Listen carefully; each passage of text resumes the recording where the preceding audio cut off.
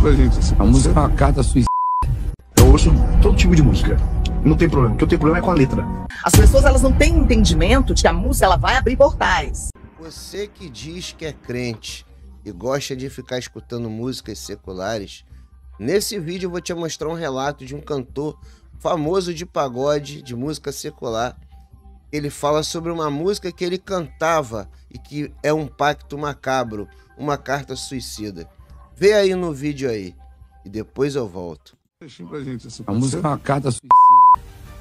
É o que que é? É uma carta suicida. É quando Ah. a melodia, é a melodia que envolve, cara. Quando a melodia é boa, pode ser a letra que for, a pessoa vai cantar. Mas o que, o que, que me, chama, me chamar muita atenção no show? É, você vai ver essa parte aqui, ó. É. é. Vou me embora agora, vou. Me embora pra outro planeta. Na velocidade da luz. Ou quem sabe de um cometa. Eu vou solitário e frio. Onde a morte me aqueça. Essa parte. Eu vou. E aqui, ó. Tá Aí eu falei, será, será, será que as pessoas não estão ligadas que a pessoa, a pessoa se?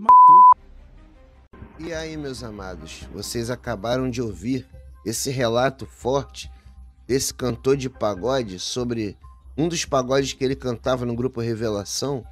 Pois é, e deve ter mais músicas por aí.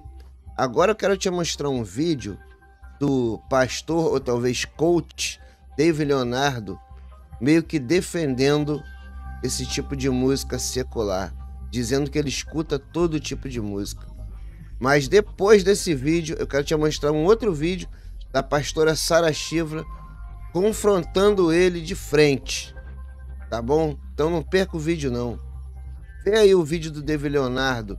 Mas aproveita, pessoal. Deixa teu like, se inscreve no canal, ativa o sino e comenta o que, que você achou dos vídeos. Beleza? Deus abençoe a sua vida e sua família. Eu ouço todo tipo de música.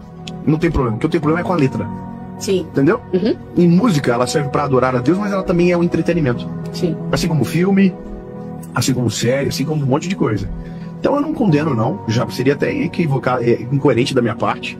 Porque, como eu gosto muito de música, eu sei, quando eu quero adorar a Jesus, eu não vou conseguir adorar Jesus ouvindo uma música secular. Eu preciso de uma música que coloque é, Jesus no centro, que aponte para ele.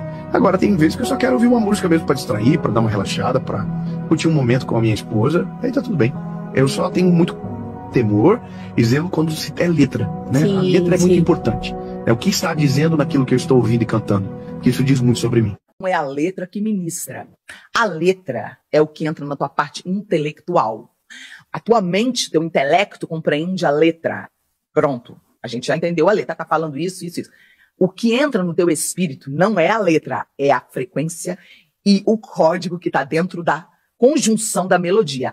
A melodia ela é uma sequência un- única de notas. É como se fosse uma senha que você digita. E ela abre um portal imediatamente na nossa dimensão. As pessoas elas não têm entendimento de que a música ela vai abrir portais. Ela foi mandada para a Terra com o poder de mexer. Por isso que o louvor liberta. Por isso que Saul, endemoniado, Davi não cantava, não tinha letra. Davi ministrava harpa instrumental. E o louvor. E Davi ministrava o demônio, a Bíblia diz, saía de Saul. O espírito imundo saía de Saul. Quando Davi ministrava instrumental, ué, não é a letra o grande problema. O problema é o espírito que está por trás de quem está sendo inspirado a compor.